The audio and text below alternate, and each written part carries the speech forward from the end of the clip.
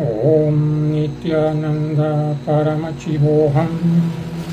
Om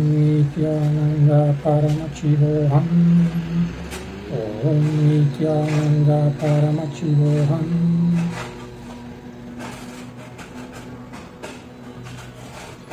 Mis queridos amigos, tratando de enmendar eh, lo que dije hace ya un tiempo respecto a la carne, hago este corto video que sé que le va a servir muchísimo a usted y que lo va a poner a reflexionar y que va a cambiar muchas costumbres y actitudes. Mire, toda expresión de vida es sagrada y la verdad es que la vida se expresa en todo. O sea, si vamos hasta las últimas consecuencias, todo es sagrado, todo, todo. Pero hay que entender que la vida y la divinidad se expresa con más fuerza en unas materias y en unos seres que en otros. Está en todo, pero se expresa con más potencia y fuerza, repito, en unos seres que en otros. Entonces, eh, proteger la vida, defender la vida, aplicar la ley pro vida, es caminar hacia la verdad, hacia la luz, hacia la divinidad. Hay un mandamiento en, que nos enseñaron desde niños, eh, de los diez mandamientos, que es el segundo, no matarás. Dice no matarás en general, no dice no matarás a tu hermano, no dice no matarás. O sea que eh, se extiende a todo lo que tiene vida. Los animales, por supuesto. Mm, lo hemos acomodado. Y pues se argumenta de que es matar personas y no animales, que los animales los puso Dios para que nos alimentáramos y no sé, falacias. Eso es mentiras y disculpas para justificar nuestros errores. Eh, es importante entender que la divinidad se manifiesta en los cuerpos limpios de inmundicia y transgresión.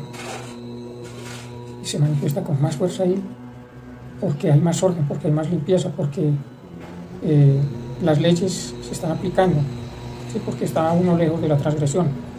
Cuando consumimos carne estamos transgrediendo ese mandamiento eh, del amor, de respetar la vida, mandamiento pro vida. Entonces, al introducir esto, pues carne, dentro de nuestro cuerpo, por supuesto de animales, eh, estamos llenando los, el cuerpo de, llenando el cuerpo de inmundicia. Y por lo tanto la divinidad no es, eh, no se siente bien ahí, está incómoda porque no es su ambiente, porque hay una transgresión de la ley. Mm, calmarse por lo que uno come es muy fácil. Hay miles de alimentos con los cuales adquirimos karma al consumirlos, no solo las carnes. Y hablo de todo tipo de carnes. La gente dice pollo, pescado, pero es que eso es carne también. ¿sí? Em, el huevo es una forma de carne también. Entonces, pero también todos estos alimentos refinados, modernos toda esta basura que nos venden que se hace pasar por alimento, y al consumirla nos estamos carmando. Entonces, eh, pues mantenerse alejado de las costumbres alimenticias karmativas, como el consumo de carne, sus derivados de distintos animales, pues es muy sano mantenerse alejado de eso. Eh, hay que entender también que eh, los músculos y la biología animal y humana, por supuesto, guarda memorias, ya que en su mayor parte es agua y el agua almacena memoria. Lo dijo Masaru Emoto y lo demostró.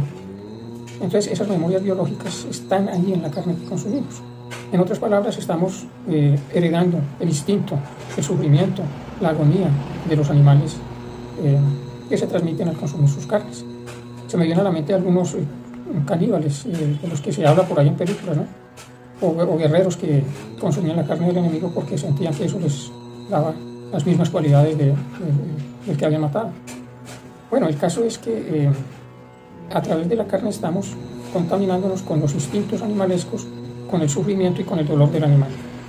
Entonces, no es nada inteligente hacerlo. Por otra parte, eh, si usted es religioso, piense en el Antiguo Testamento donde Dios manda comer plantas, frutas y semillas en el Génesis. Eso es lo que le da como alimento a, los primeros seres humanos.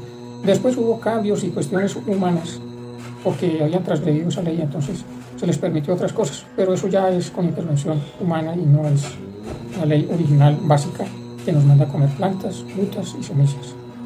Por último, digamos que eh, los animales vegetarianos son muy fuertes y tienen músculos poderosos. Y no comen carne.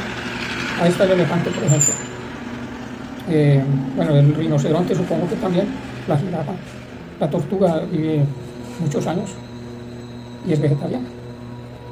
Mm, bueno, puede que de pronto me equivoque por ahí si alguno de estos animales come insectos. El caso es que, por ejemplo, el ganado, el ganado es el caso típico. Eh, es fuerte, saludable y lleno de músculos y no necesita comer. Por supuesto, tiene cuatro estómagos para digerir. Nosotros, en cambio, tenemos 6 metros de tubo digestivo para hacer todo un proceso eh, donde se convierte el vegetal, la verdura y la fruta en nutrientes. Recuerdo también que el cuerpo produce su propia proteína y que es un proceso complejo la producción de proteína. Es mucho más fácil eh, alimentarse con frutas, verduras y semillas porque el desdoblamiento de los nutrientes es más simple. Ahora, si le incorporamos carne al cuerpo, pues el cuerpo que al fin y al cabo la carne es proteína, va a entender que ya no tiene que producir proteína porque hay un exceso. Entonces dejamos de producirla naturalmente y vamos a consumir una proteína contaminada que es la de la carne. Bueno, motivos hay más que suficientes. Se me viene a la mente un video que hice defendiendo la costumbre de comer carne. Creo que con lo que he dicho aquí queda revaluado.